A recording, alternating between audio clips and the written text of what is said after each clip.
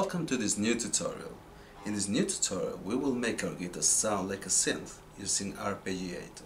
In order to do that we will use patterns of 6 notes. In addition we will add two cool effects to our guitar sound. Those effects are going to be a phaser and a delay. I don't want to make a too long video so if you are interested in the parameters of the phaser or the delay, just leave in the comment section what do you want to know or thumbs up if you want a specific video of phasers or delays.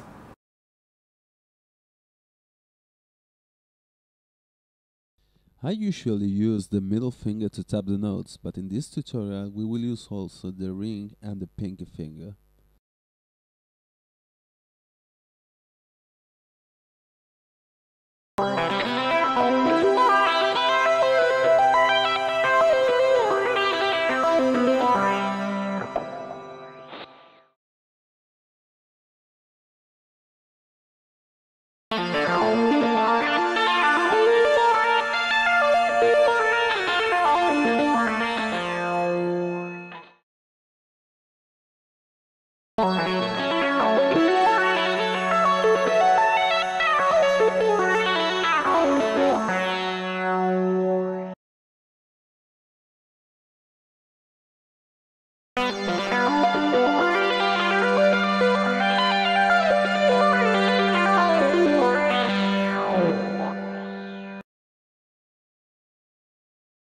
Thank you.